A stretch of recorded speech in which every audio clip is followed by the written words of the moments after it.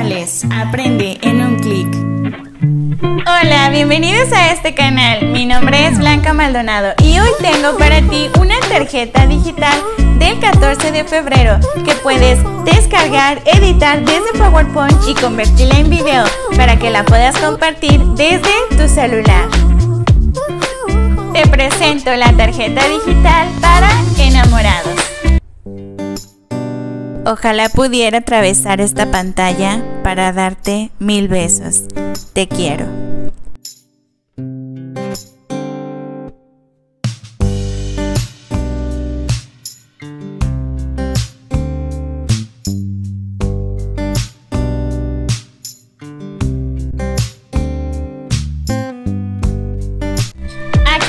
En las descripciones encontrarás el link para descargar esta tarjeta digital. También tengo para ti esta misma tarjeta pero en formato de impresión. Para que sea más fácil para ti editar esta tarjeta digital, aquí abajo en las descripciones encontrarás un índice que te permitirá dirigirte hacia el aprendizaje deseado. Si te gusta mi trabajo, regálame un dedito arriba, suscríbete a mi canal y ayúdame a compartir este video. ¿Cómo descargar? Dirígete a las descripciones en este video y encontrarás el link. Nos dirige a otra ventana, damos clic en Doblan y nos aparece la descarga en la parte inferior. Ahora nos dirigimos a Mostrar en carpeta. Nos ha descargado un archivo comprimido en zip.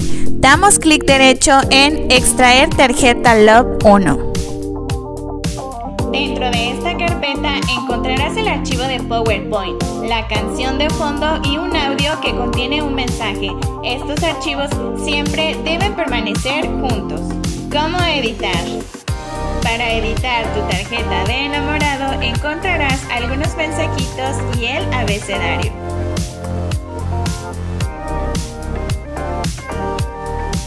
Primero agregaremos una fotografía. Seleccionamos la foto y nos dirigimos al comando recortar.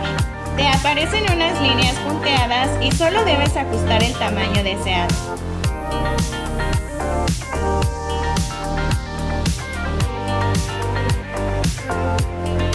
Dentro de este comando de recortar se encuentra el comando de recortar a la forma.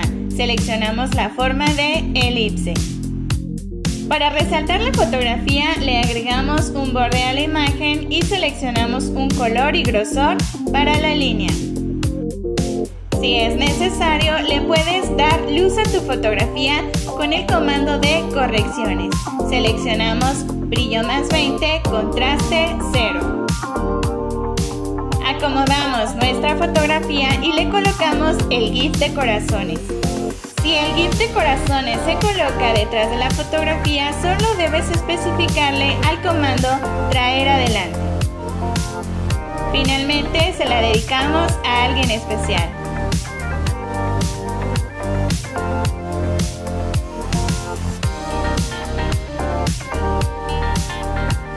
La diapositiva 2 la puedes personalizar con unas fotografías tuyas.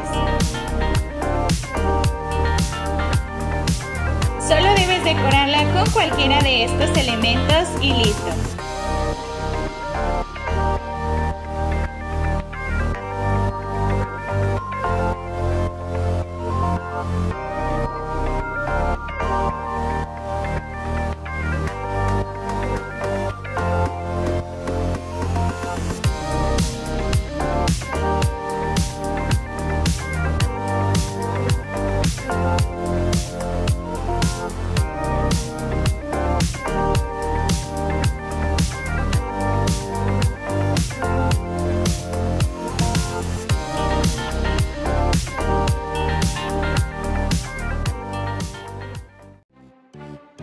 Cómo ingresar un audio personalizado en tres sencillos pasos.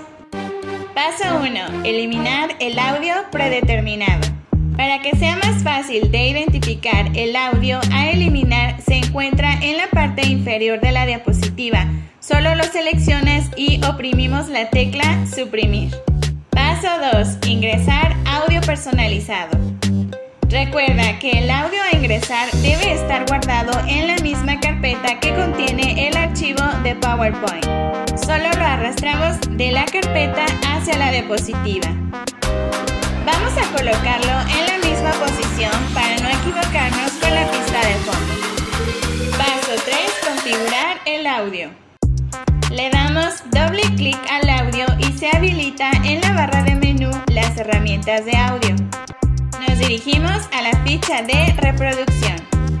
En el grupo de edición puedes usar el comando de recortar audio para eliminar los espacios vacíos.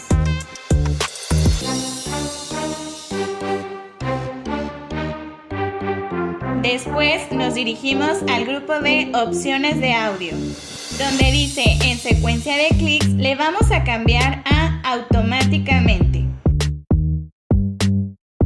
Nos dirigimos a la ficha de animaciones en el grupo animación avanzada. Damos clic en el comando panel de animación y nos abre el panel en la parte derecha. El audio nos aparece al final de la lista y lo tenemos que posicionar en el segundo lugar. Solo damos clic y lo arrastramos hacia arriba. Ahora damos clic derecho y nos dirigimos a Interval. Nos abre un cuadro diálogo y en la sección de inicio vamos a seleccionar con la anterior.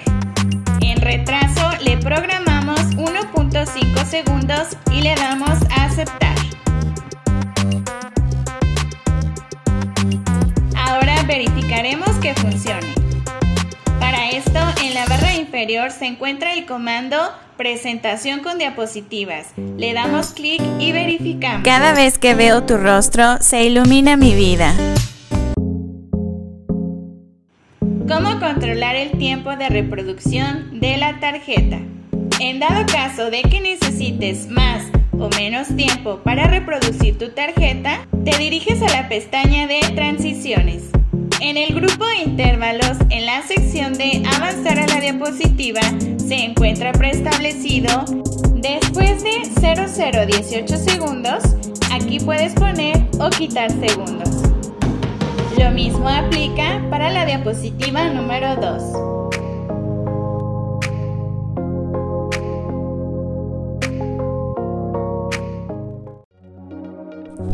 ¿Cómo convertir en video?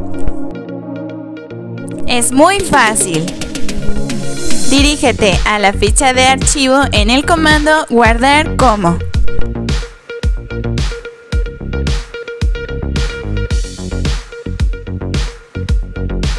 En la sección tipo, desplegamos el menú y buscamos Video MP4. Le damos clic en aceptar y comenzará la conversión.